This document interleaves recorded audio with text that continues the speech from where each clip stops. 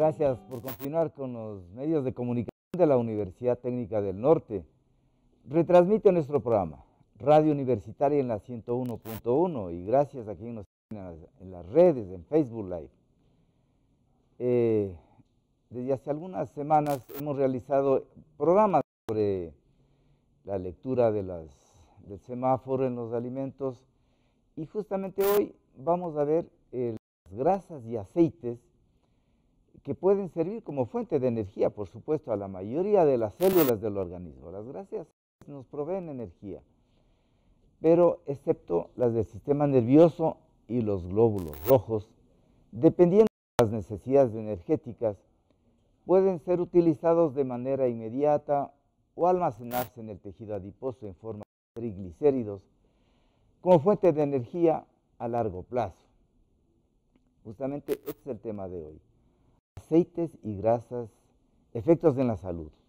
Lo trataremos con la ingeniera Alejandra Gómez Gordillo, ella es ingeniera en alimentos, magíster en agroindustrias, trabaja aquí en ciencias de la salud como docente. Eh, se va a integrar dentro de pocos minutos, se encuentra en algunas actividades académicas eh, para empezar con este tema. Pero sin embargo, yo voy a hacer una introducción porque lo que interesa aquí son dos puntos importantes.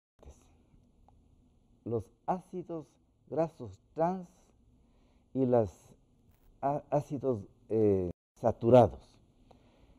Nosotros consumimos muchas grasas, pero cuando hay un desequilibrio en el consumo de estas grasas, se altera el perfil lipídico. Al decir perfil lipídico, significa eh, cómo está el colesterol, tomando en cuenta que tenemos un colesterol total, tenemos un colesterol bueno y un colesterol malo, tenemos triglicéridos. Cuando se altera este perfil lipídico, cuando está muy elevado el, colesterol malo, nosotros tenemos riesgos cardiovasculares. Entonces, y no solo riesgos cardiovasculares, significa que me va a dar un infarto, que me va a dar un derrame cerebral, sino que estos, ácidos grasos trans y esos ácidos grasos saturados son origen de muchas enfermedades y entre ellas del cáncer.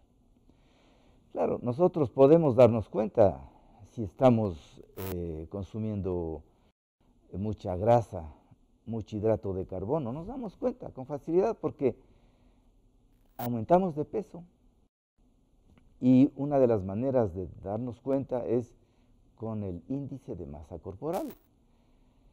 Nos podemos dar cuenta, por ejemplo, con tomándonos el perímetro abdominal, que nos indica cifras muy exactas de que pasado 100 centímetros en los varones eh, tenemos eh, riesgos, riesgos cardiovasculares. Hay un estudio que se realizó en Colombia, eh, en la utilización. Colombia vive una realidad parecida a la nuestra y e, ellos encontraron que consumen muchos alimentos em, procesados, consumen muchos alimentos embutidos, el 95% de personas consume muchos fritos, el 95% es un índice altísimo.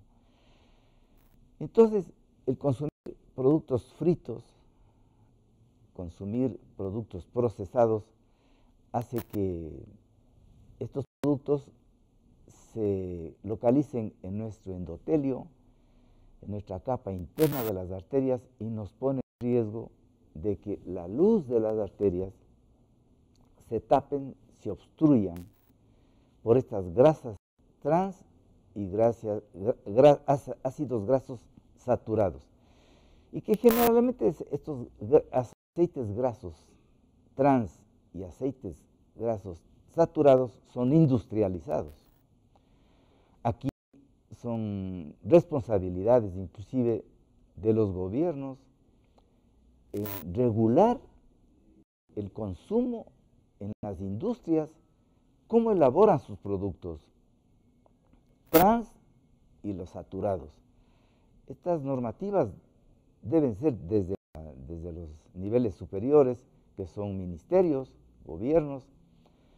Por ejemplo, aquí en la Universidad Técnica del Norte se actualizan los resultados, se realiza investigaciones, la academia da a conocer el resultado de una investigación, los efectos sobre la salud. Pues entonces las autoridades tienen que ser muy receptivas de las investigaciones que realizan las universidades, las, academias, donde se comprueba con investigación muy seria qué es lo que está produciendo en la, en la colectividad, en los consumidores. Entonces tiene que darse una regulación en base a sus estudios de investigación. Es una regulación mundial que eh, autoridades como la Organización Mundial de la Salud eh, tomarán en cuenta. Es una forma de precautelar, porque nuestra población no está informada sobre estos, estas grasas trans ni estos ácidos grasos saturados. Se confunde. Hay que explicarle del perfil lipídico. Entonces, esta regulación se debe dar a nivel superior, una regulación mundial, para que los ministerios tomen en cuenta y establezcan normas. Eh, por ejemplo, eh, grasas, trans no debería ser utilizadas más del 2% del total de aceites en margarinas. Pero ¿quién va a vigilar eso? Eso tiene que vigilar las autoridades, porque la población en general consume lo que le expenden en el supermercado, en la tienda. No conoce los niveles de, de que el colesterol bueno, el colesterol malo. Entonces, la regulación viene a nivel superior, porque al establecer un límite, las industrias, un límite establecido por la autoridad, las industrias que elaboran galletas, donas, ellos tendrán que sujetarse a las cantidades de, de margarinas, que son grasas trans y grasas saturadas, que son muy perjudiciales para la salud. Entonces, ellos tendrán que limitarse en el uso. La bollería, los snacks, lo que les compramos a nuestros hijos para que lleven para el recreo y consuman sus golosinas, pues esas golosinas tienen como las donas, las hamburguesas, papas fritas, tienen, muchas grasas, muchos aceites. Entonces, esa normativa tiene que ver desde niveles superiores. Ahora, la población en general debe conocer que en realidad nosotros necesitamos nuestras células cerebrales, la membrana celular, estamos omegas, como el omega 3, y que el omega 3 se encuentre en cantidades como en el salmón. Lamentablemente el salmón eh, lo encontramos en poca cantidad en nuestro medio, más bien viene de Chile. Pero tenemos nosotros eh, otro tipo de pescados, como el atún, la sardina, y tenemos que indicar cómo debe ser ese consumo, ese atún, esa sardina, los pescados. Nuestra población sabe que la carne proveniente del pescado es muy saludable, pero muchas veces no saben cómo prepararla. Los omegas, omegas 3 especialmente, omega 6, tiene el, pescado. Son pescados que vienen de la costa o de reservorios donde eh, hay personas que tienen ese negocio de alimentarlos en piscinas. Pero, ¿qué debe conocer nuestra población? Que para que la carne de pescado sea saludable y esos omegas, como el omega 3, no se destruyan, tiene que aprender a preparar. Y la forma como se destruyen los omegas es con el, con eh, friéndolo, porque lo ideal en el pescado es que se haga al vapor, al vapor. Entonces, y consumimos en cantidades industriales, eh, pescado frito. Y muchas veces aquí en la Universidad Técnica del Norte se hizo un estudio, la doctora Trade, que trabaja en, en nutrición aquí en la facultad, hizo un estudio con sus estudiantes observando el lugar donde, donde se fríen los pescaditos y encontró que el aceite era reutilizado más de 20 veces. Entonces, la Organización Mundial de la Salud, los ministerios tienen que empezar a regular este tipo de consumo de las grasas trans y las grasas saturadas. Países como Dinamarca, Hungría han prohibido las grasas trans, así nomás, prohíben el consumo. La población está informada porque se pone en juego su salud. Tiene serios riesgos consumir grasas trans y grasas saturadas. Justamente ya está aquí nuestra invitada y estaba haciendo una introducción eh, sobre este tema de los aceites y las grasas. Entonces, eh, la, idea principal de esta mañana es justamente, Alejita, buenos días, qué gusto. Acá eh, estaba hablando, haciendo una introducción sobre los ácidos grasos trans y ácidos grasos saturados. Como estos ácidos grasos trans y los saturados son muy perjudiciales para la salud, le ponen en riesgo cardiovascular, significa ponen en riesgo de un infarto, de un derrame. Yo le recuerdo a Lejita, la primera causa de muerte en el mundo, las mujeres están muriendo por enfermedades cardiovasculares. La mujer tenía la, la seguridad y la esperanza de que, bueno, yo tengo estrógenos y los estrógenos me protegen. Pero si usted no tiene un estilo de vida, que ya vamos a ver al final, estilo de vida saludable, pues le va a dar un infarto por estos ácidos grasos trans. Entonces yo quisiera, Alejita, después de darle nuestra, nuestro saludo cordial, ¿cuáles son estos ácidos grasos trans y estos ácidos grasos saturados?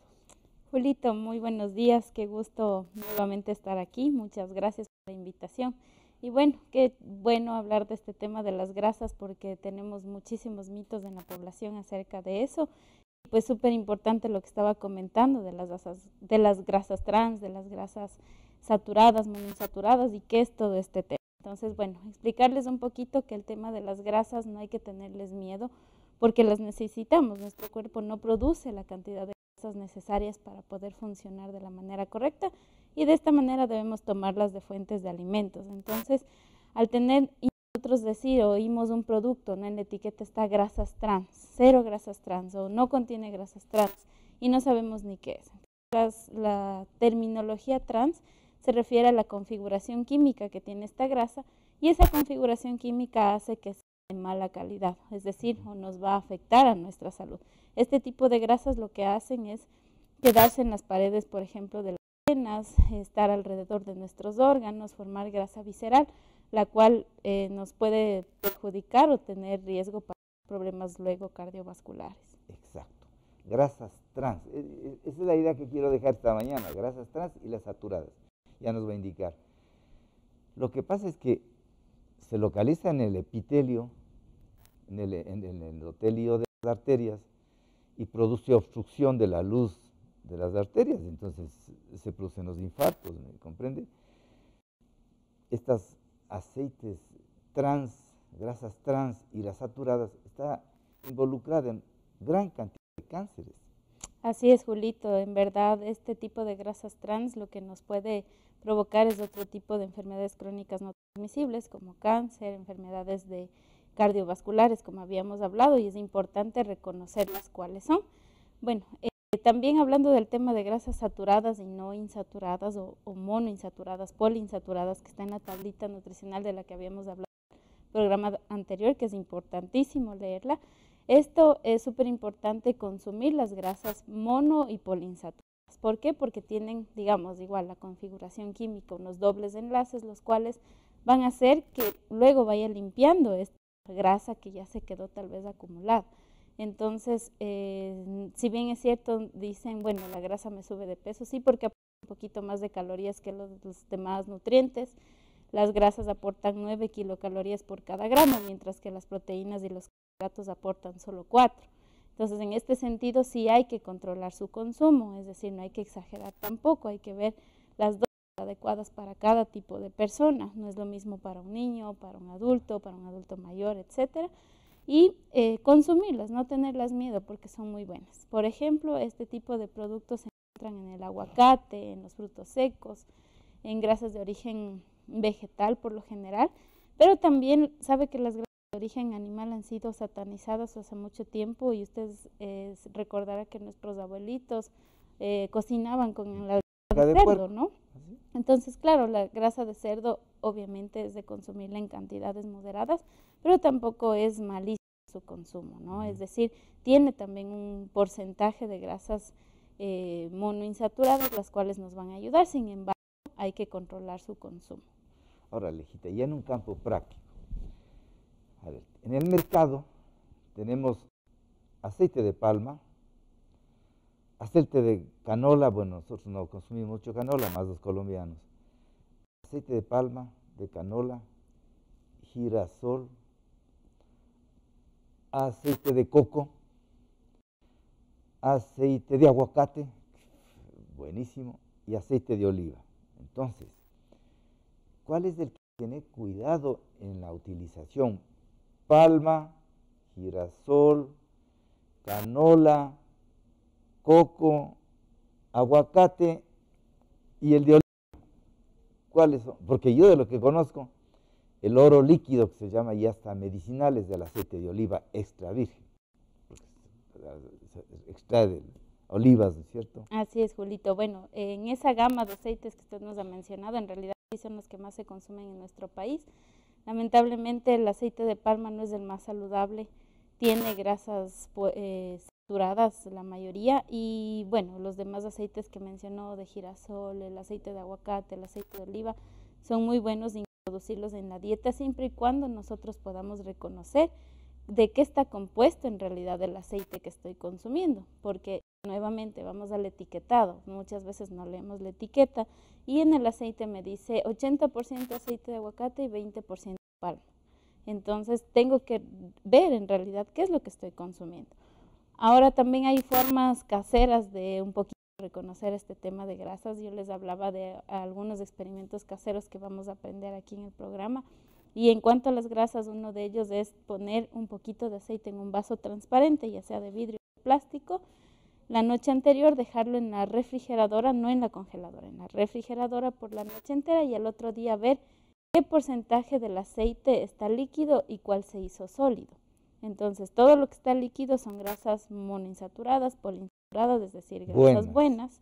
Y lo que se hace sólido son las grasas saturadas que podríamos encontrar en el aceite. Entonces, ha pasado con marcas, mm, no vamos a decir marcas, pero hemos hecho aquí en el laboratorio con los chicos análisis y algunas marcas tienen más porcentaje de saturación que otras porque hay mezclas de aceites también. Entonces, por eso les decía, es súper importante leer la etiqueta, a ver si en de extra virgen, si en realidad no hay mezcla de aceites o qué es lo que me estoy comiendo, ¿no? Porque uno solamente mira y dice, voy a comprar esta botella de aceite de oliva, pero ¿qué ingredientes más tiene? Entonces, súper importante. Es que es, el problema. A la población, yo me atrevo a decir, no está educada y lee las etiquetas. Peor, la trampa de las empresas. Imagínense que el, el aceite de aguacate, mezclen con aceite de palma, pero dañaron el aceite. Porque lo ideal, hacer el costo un poquito más alto, preferiría que sea solo aceite de aguacate, que sería lo ideal. Bueno, para evitar estas trampas, mejor consumamos el aguacate todos los días, ¿cierto? y tenemos de buena calidad aquí en Imbabura. Exactamente, sí, justo en Mira tenemos una producción súper importante de exportación, están exportando. Exactamente. Entonces, introducir a, una dieta de aguacate está súper bien. frutos secos también, como les contaba, de buena calidad. A veces nos asustamos en la etiqueta, hablábamos de la semaforización y un producto de estos mezclados que tienen varios frutos y vemos el semáforo alto en grasas, pero son grasas buenas. Entonces, eso nos referíamos a que no solo nos refiramos al eh, semáforo nutricional, sino a la tabla nutricional.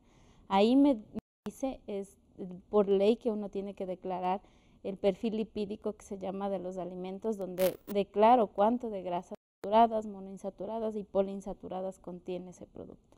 Porque lo que interesa, eh, Alejita, es lo siguiente, lo que pone de inicio.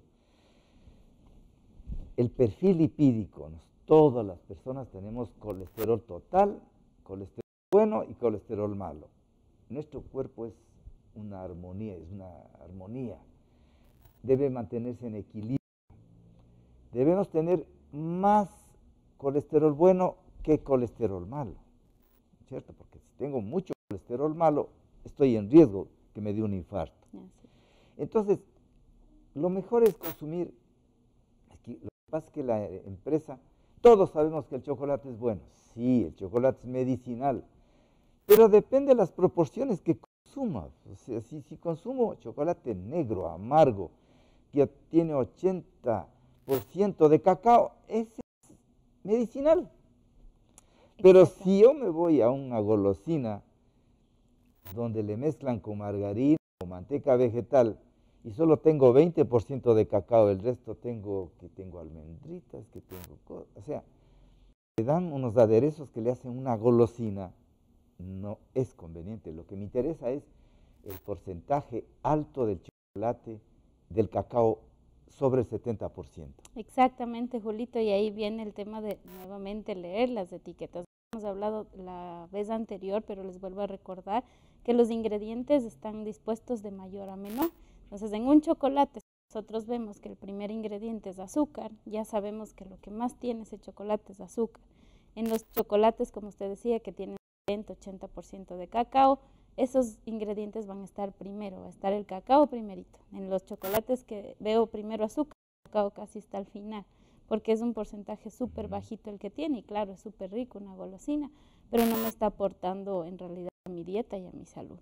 Entonces es súper importante saber elegir, y es por eso que, le felicito estos tipos de programas que pueden hacer que la población decida mejor su alimentación. No es que se prohíbe el consumo de chocolate, sino que debemos saber qué tipo de chocolate pues ponía la gama de aceites, ¿no? La gama de aceites.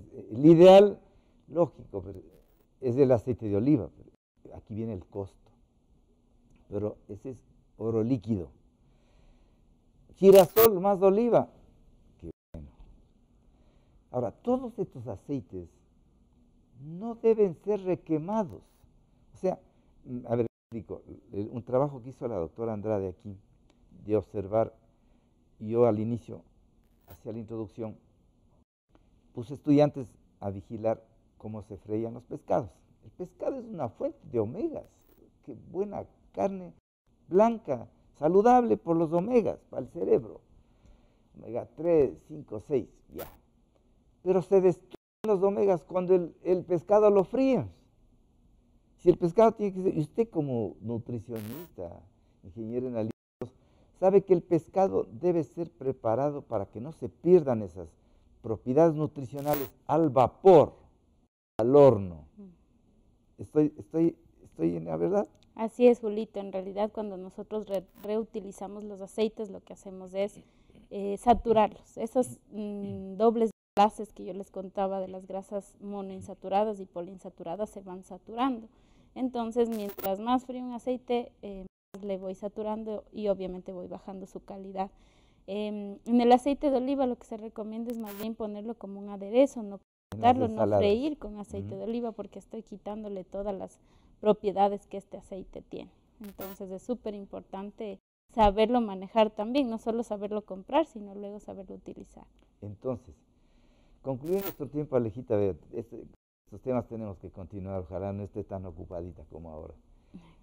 El mensaje era, consuma buenos aceites, buenas grasas. Para consumir, yo le digo sinceramente, para consumir aceite de palma, prefiero la manteca de cerdo. Así es. ¿No es cierto? Y si no tengo dinero para el aceite de oliva, consumo aguacates. Ahí está. Si, aquí había, mira, una fábrica de aceite de aguacate. Tenemos, si los europeos tienen aceite de oliva virgen, nosotros tenemos aceite de aguacate. Así es. ¿Cierto? Muchas gracias, Alejita. Gracias, Julito, por la invitación. A ustedes muchas gracias. Disfruten de esta semana de reflexión, de este fin de semana. Este programa se reprisa luego del noticiero, 10 y media de la noche. Les esperamos el día lunes. Gracias, Alejita. Gracias, Lito. Hasta luego.